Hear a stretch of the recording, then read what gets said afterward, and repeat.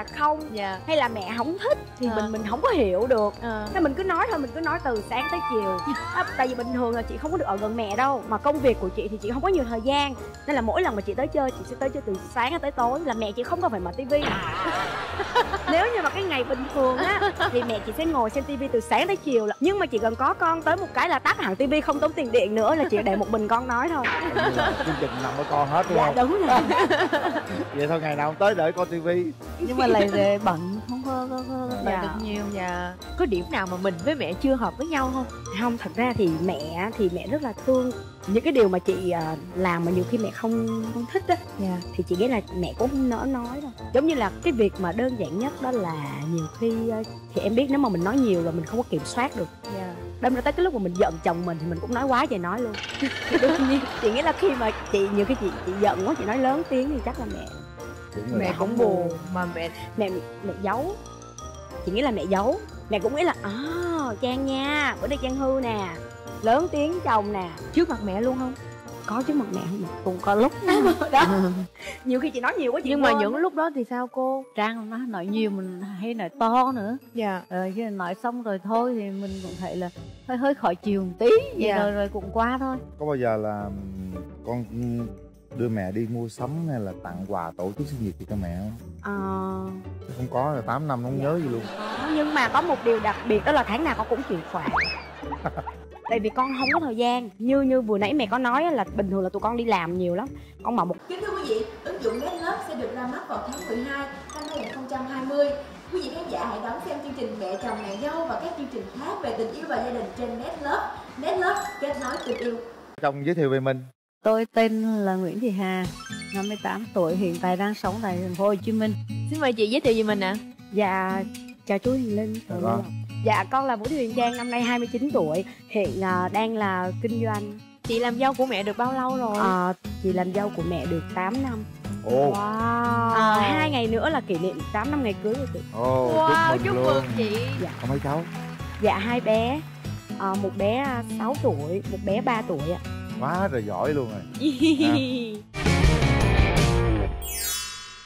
Cái ngày đầu tiên mà cô gặp con dâu tương lai của mình á cô cảm nhận về cô gái này như thế nào? Ừ, ngày đầu tiên mà gặp đó là thấy ờ, nó nhỏ lắm. Nhỏ mà nhí nhảnh mà nói nhiều. À, Ờ. cho nên là cũng chưa có có có nghĩ là là là là dâu đâu. Dạ. Nghĩ là chỉ có mấy là bạn thôi. Dạ nhưng biết là nói nhiều đúng không? Cũng nhiều lắm. Nhiều nhức đầu luôn. Chị có thể cho em biết một chút xíu là cái ngày đầu tiên khi chị, chị gặp mẹ chồng tương lai đó chị cảm giác như thế nào và chị có ấn tượng điều gì không? Chắc là khác với mọi người á. Tại vì lần đầu tiên mà chị gặp mẹ thì chị lại không biết mẹ là mẹ ruột của ông xã chị. Tại vì đợt ngày ngày xưa á thì chị và ông xã chị là tình đầu. Mình còn nhỏ mà mới lớp 8, lớp 9 thôi mình chưa có biết yêu. À. Hay là mình vô tình mình qua nhà bạn học chơi thôi. À. Thì mẹ tới. Mình không biết là có phải mẹ hay không thì mình vẫn phải chào trước đã. Dạ. Dạ con chào cô. Mình chỉ nghĩ là chắc là cô là hàng xóm thôi tại vì không có thấy mẹ bước vào nhà. À. À, về sau này á thì mình bất ngờ. Tại sao mà mẹ mà anh lại không nói? Về sau này mình mới biết là mẹ ảnh chỉ cười thôi anh kêu là ừ anh nghĩ là em biết. Nhưng mà mình mình không biết gì hết. Nên là mình không thể nào nghĩ là từ cô mà trở thành mẹ chồng. Dạ. Dạ.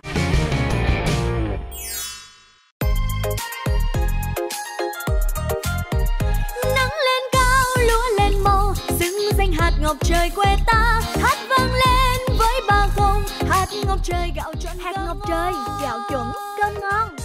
lành vậy về làm dâu tốt không cô?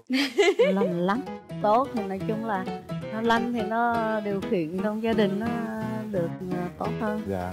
Nhanh nấu nhẹn cơm nấu nước giặt giũ quần áo dọn nhà này kia có không? Không.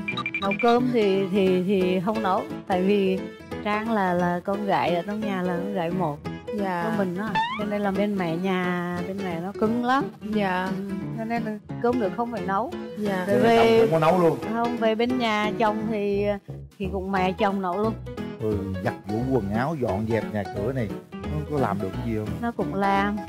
Nhưng làm được không? Làm cũng tạm tạm thôi còn chồng chồng nó làm nhiều. Nhưng mà cái ngày đầu tiên khi mà về nhà chồng nó cảm giác mình như thế nào? Sợ rất sợ. Lanh quá mà vẫn sợ hả? Không tại vì nhiều khi mình nói để cho mình đỡ sợ thôi.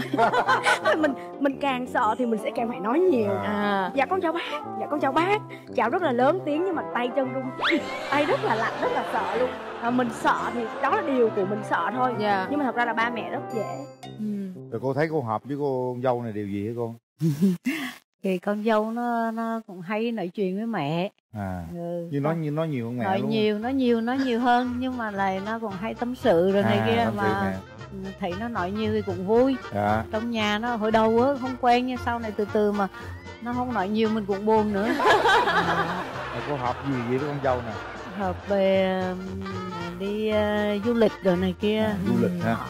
Rồi ờ, đi ờ, xem cả chương trình này kia với TV cả Dạ. TV rồi. Tham gia cả cái cái cuộc mà đi ờ, đi đi xem chồng nó biểu diễn cái này nọ đó. Anh nhà mình làm gì chị? Chồng của chị là biên đạo lê hữu phước. À. Được rồi ảnh có đi thi uh, SEA Games. Cái cái thể loại của ảnh là lần đầu tiên được đưa vào SEA Games luôn. Đó là thể loại uh, breaking. Thì ảnh được huy chương bạc à. Nên là tất cả những cái mà cuộc thi của ảnh á thì đa phần là có mẹ đi đi cùng luôn. Dạ. Mẹ đi cùng, vợ đi cùng Con nghĩ chắc là đó là điểm chung của mẹ con mình. Mình yêu cùng một người, mình ủng hộ cùng một người Thì đó cũng là điểm chung đúng mà. rồi Dạ. rồi. nhưng mà với mẹ chồng thì hơi ít nói với chị thì hơi nói nhiều xíu thì hai cái tính cách này có hợp với nhau không? Thật ra lúc đầu chị hơi sợ là chị thấy mẹ kiệm lời. Nên nhiều khi mình mình mình tâm sự mình nói với mẹ mẹ chị ừm mẹ ừm không không biết là mình không biết là ô mà con kể cái câu chuyện đó không biết mẹ có vui không? Hay là mẹ có đồng tình cùng với mình hay là không? Dạ. Hay là mẹ không thích thì À. mình mình không có hiểu được. À. nên mình cứ nói thôi mình cứ nói từ sáng tới chiều. À, tại vì bình thường là chị không có được ở gần mẹ đâu mà công việc của chị thì chị không có nhiều thời gian. Nên là mỗi lần mà chị tới chơi chị sẽ tới chơi từ sáng tới tối là mẹ chị không cần phải mở tivi. Nếu như mà cái ngày bình thường á thì mẹ chị sẽ ngồi xem tivi từ sáng tới chiều là- nhưng mà chỉ cần có con tới một cái là tắt hẳn tivi không tốn tiền điện nữa là chị để một mình con nói thôi. Là chương trình nằm ở con hết đúng dạ không? đúng rồi vậy thôi ngày nào không tới đợi coi tivi. Nhưng mà lại về bận không có, có, có đợi Dạ. được nhiều. dạ. Có điểm nào mà mình với mẹ chưa hợp với nhau không? Không thật ra thì mẹ thì mẹ rất là thương. Những cái điều mà chị à, làm mà nhiều khi mẹ không không thích á dạ. thì chị nghĩ là mẹ cũng không nỡ nói đâu. Giống như là cái việc mà đơn giản nhất đó là nhiều khi ờ, thì em biết nếu mà mình nói nhiều là mình không có kiểm soát được. Dạ. Đâm ra tới cái lúc mà mình giận chồng mình thì mình cũng nói quá trời nói luôn. Thì đương nhiên chị nghĩ là khi mà chị nhiều khi chị chị giận quá chị nói lớn tiếng thì chắc là mẹ mẹ cũng buồn mà mẹ mẹ mẹ giấu. Chị nghĩ là mẹ giấu. Mẹ cũng nghĩ là à trang nha bữa nay trang hư nè lớn tiếng chồng nè. Trước mặt mẹ luôn không? Có chứ mặt mẹ không? Cũng có lúc. Đó. Nhiều khi chị nói nhiều quá chị nhưng mà những lúc đó thì sao cô? Trang nó nói nhiều mình hay nói to nữa. Dạ. Rồi khi nói xong rồi thôi thì mình cũng thấy là hơi hơi khỏi chiều một tí. Vậy Dạ. rồi rồi cũng qua thôi. Có bao giờ là con đưa mẹ đi mua sắm hay là tặng quà tổ chức sinh nhật gì cho mẹ không? Ờ, không có là 8 năm không nhớ gì luôn. Có, nhưng mà có một điều đặc biệt đó là tháng nào con cũng chuyển khoản tại vì con không có thời gian. Như như vừa nãy mẹ có nói là bình thường là tụi con đi làm nhiều lắm. Con mở một cái trung tâm dạy về à, về tài năng về năng khiếu về nhảy. Đó thì à, con mở rất là nhiều lớp dạy nên là con mất rất là nhiều thời gian không có thời gian cho bản thân mình luôn. Đôi khi là con không có thời gian về thăm ba mẹ. Thì thay vì là con à, tặng quà con gọi quà thì con dạ đúng nhưng rồi. mà nhiều khi mới mốt cái số tiền chuyển khoản nó cũng về anh chị. Nhưng mà cái ba mẹ anh chị cần lại là sự thăm hỏi đúng không cô? Thì vậy thì bao lâu chị cho cháu về thăm bà một lần? Nói tới thì chị hơi buồn chút là tại vì à, những cái mùa mà mình ít show á mình không có đi show nhiều. Thì à, à, mẹ ơi mẹ con con cho phước an qua con cho chiếc chiêu qua thăm ông bà. Nhưng mà những cái mùa mà đó như đợt Bận dịch quá. vừa rồi em biết. Dạ. dịch là mình nghỉ mình nghỉ thì ông bà nói là thôi con ơi dịch không có ra đường. Nhưng mà hết dịch rồi ba mẹ ơi hết dịch con cho cháu qua thì công việc rất là nhiều luôn rồi từ bữa tới giờ là thật ra thì bữa giờ con chỉ có nhắn tin cho mẹ không luôn. Từ là từ dịch vào á là chị không có được gặp mẹ chị luôn á. Nói nói chứ đây á thực sự á chuyển khoản nhiều cũng tốt. Nhưng mà chưa chắc là tốt lắm. Đôi khi ông bà muốn ờ, không phải muốn cái chuyển khoản đâu mà ông bà muốn là con cháu về chơi với ông bà càng nhiều càng tốt. Nếu như hai mẹ con mình chưa có nhiều kỷ niệm với nhau thì kỷ niệm nhiều nhất là vào lúc chị có bầu và sinh đẻ có đúng không? Ờ chị thì chị ờ, ốm nghén rất là nặng dễ xỉu lắm. Chị bị thiếu máu bẩm sinh thế là đứng là chị sẽ xỉu. Là lúc mang bầu á hả? Đúng rồi. Khi mà chị à, sinh em bé xong á thì cái người mà chị à, cảm thấy an tâm nhất á thì đó là mẹ hà mẹ chị thì à, thay vì à, mẹ ruột của chị nó là mẹ sẽ ở lại chăm con ở bệnh viện, thì chị nói là thôi mẹ đừng buồn để mẹ hà chăm con. Mẹ sẽ ân cần, sẽ sẽ nhẹ nhàng hơn, tại mẹ hà có kinh nghiệm nhiều hơn. Thật ra thì tại vì chị muốn là có thời gian nhiều ở bên mẹ thôi, thì lúc mà mẹ hà chăm mình nó mình nhiều khi mình buồn lắm luôn á em. Giống như là nếu như mà chị còn trẻ, chị còn khỏe, chị phải chăm mẹ chị, thì ngược lại khi mà chị thấy là ồ mẹ chị lấy cơm cho chị, làm mọi thứ cho chị, đêm chị ngủ chị xin mổ. Chị tự à, cho con à, dùng sữa mẹ chứ chị không có cho sữa ngoài. Thì mẹ chị nói là thôi con đau quá nằm đi mẹ pha sữa bột cho. Trời chị muốn khóc luôn á. Vậy là mẹ chồng thương con quá rồi. Dạ rất là thương. Ừ. mẹ chồng thương con lắm. Vậy thì mình thương con dâu mình chăm cháu mình thương nó chăm sóc cháu nhiều rồi có khi nào trật lòng với con dâu không lúc mà trang sanh xong á thì ờ, mẹ chồng là chăm cho nó kỹ lắm. Chăm nó thì nó chịu rồi đó. Rồi. Nhưng mà chăm con nó chưa chắc nó chịu. Đúng rồi chăm con thì nhiều lúc là nhiều lúc cọ cọ hôm tắm cho cho cháu mà trang nó nó nó, nó thấy mình không có được ờ, không có được được nữa. ờ, không phải đúng cách. Vậy là mình mình mình luống cuộn hơi lâu rồi đó. À. thì trang nó sợ chắc là sợ đụng em bé hay tại hay nói thôi để cho con con tắm cho mẹ ơi. Mình thấy cũng hơi buồn là ở chỗ là nó không tin mình. Nhưng mà thực tế là là nó, tụi nó trẻ thì chắc nó làm những công chuyện đó nó nó nó sẽ dẻo dai hơn mình á. Mình được cứng cáp hơn. Cái nỗi buồn của những bà mẹ chồng là như thế đôi khi chăm sóc nàng dâu rất là nàng dâu rất là vừa lòng. Nhưng mà chăm sóc con nó nó nó thôi Chịu. không vừa lòng. Cái đó là cái mà rất nhiều mẹ chồng vướng phải. Thật ra con thì mẹ chăm thì con rất là là tin tưởng luôn á. Ừ. nhưng mà con thấy tay mẹ run. Ừ thấy chưa? Con thấy tay mẹ run như Sợ vậy nè. rớt, đúng không? Mẹ run vậy nè. Nên là con cảm thấy thôi thôi thôi thôi thôi chết rồi. Không Sợ. được rồi. Run run quá. Chị thì không nghĩ là mẹ sẽ làm rớt Phước An đâu. Mẹ run mà mình mình nhìn thấy rõ mình đứng ngay bên cạnh mà chị thấy rùng mình. Chị nói thôi mẹ ơi chị biết là chắc chị nói chắc mẹ chị buồn lắm. Nhưng mà bây giờ như, như em biết đó bây giờ mình nói quá nhiều mình không thể nào mà mình khóa lại được. Mình không khóa lại được thì bây giờ mình phải tuôn ra thôi. Dạ. mình mẹ ơi thôi con tắm cho. Chị nói rất nhỏ nha. Nhưng mà chắc mẹ chị buồn nên là mẹ chị nhớ tới giờ. Có nào nó nó la cháu trước mặt mình nó đánh cháu trước mặt mình không? Cũng có lúc nó nó la nhưng mà nó la đúng thôi thì mình cũng để cho cho cho con nó dạy nó dạy cháu chứ mình cũng không có cản nó chị canh ví dụ mẹ chị đi ra chỗ khác không? Đang đầu nhà đi. Vừa đi xuống dưới một cái phương an. À, chị phải đổi giọng để ghen xong rồi mẹ chị đi lên. Là chị biết là nó là cục vàng rồi. Mẹ chị vừa đi lên một cái ăn đi con. Đó, chị phải đổi liền bây giờ chị không đổi là không được. khôn nha. Nên là nếu như mà vô tình mà mẹ chị nghe thấy là đôi khi chị lớn tiếng quá. Dạ. ở dưới nhà mẹ chị mới vô tình nghe thấy thôi. Chứ chị không bao giờ mà giống như là mẹ ngồi ngay đây đúng không mà? Ví dụ Phương An đi ngang qua mẹ Hoàng! Là không có luôn đúng không mẹ đúng không? Không có luôn. Dằn dữ lắm đúng không? Dằn Trang ơi từ từ Trang. Chứ bây giờ nếu mà ví dụ như mà con mà la không? Là con biết chắc luôn mẹ sẽ không la con đâu. Nhưng mà mẹ sót lát sau mẹ sẽ ẩm ôi Phước An hồi nãy mẹ la phải không? Đó là chắc. À. nhưng mà nếu như mà bà nội nói vậy thì Phước An nó sẽ hư.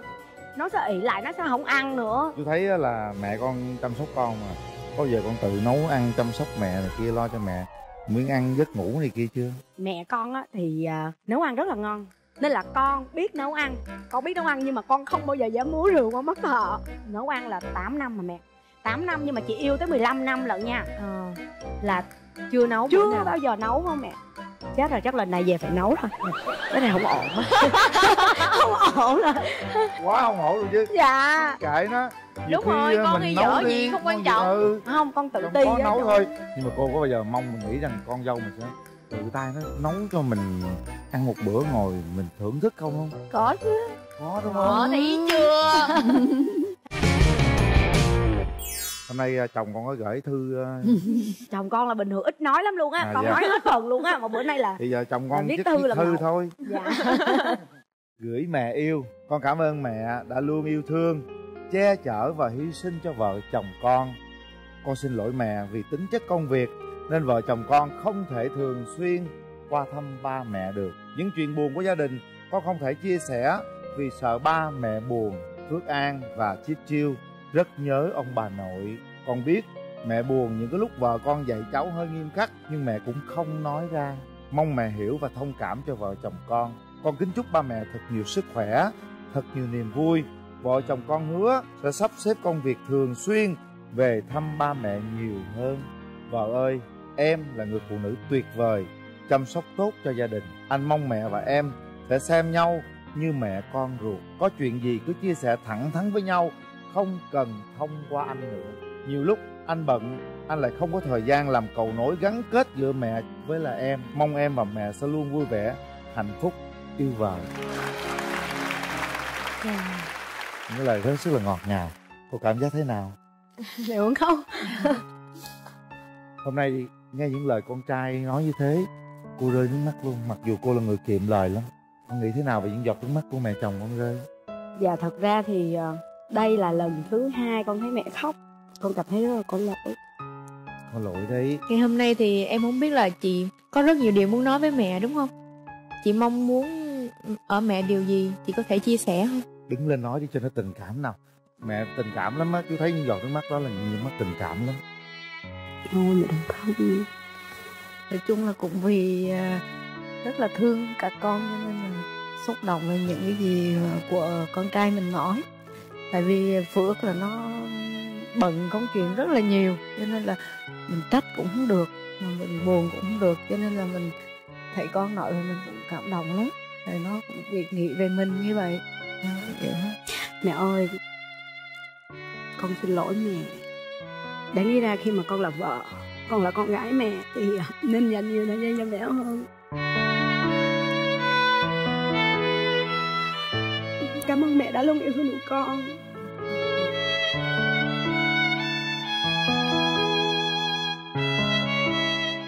Rồi chú hy vọng rằng con sẽ là người chủ động trong công việc này bởi vì mẹ con ít nói chúc cho gia đình ta hạnh phúc hiểu nhau nhiều hơn chia sẻ với nhau nhiều hơn nhé một kỷ niệm của chương trình gửi tặng gia đình để nhớ mình có tham gia chương trình này chồng nàng dâu Dạ, con ờ, cũng xin được thay mặt chương trình gửi tặng cô và chị một ít quà. Đây là bộ gối nệm của thương hiệu Elina. Còn đây là Ala Bio với thành phần 5 Ala được chứng nhận lâm sàng về hiệu quả tăng cường chuyển hóa đường thành năng lượng, giúp ngăn ngừa và hỗ trợ điều trị đái tháo đường. Xin cảm ơn cô và chị đã đến tham gia chương trình.